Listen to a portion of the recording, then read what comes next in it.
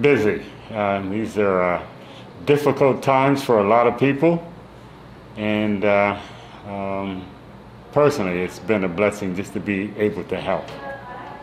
You know, there's a lot of people that could use the help and need the help, and uh, fortunately, uh, there are some of us who are in position to help.